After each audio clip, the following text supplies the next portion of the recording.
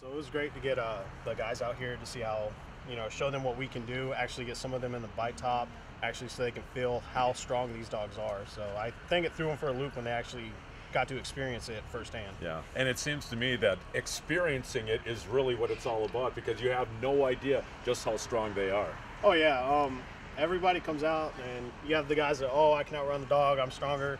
But as soon as that dog hits you, it's an adrenaline rush. You just go on, take the ride. I'm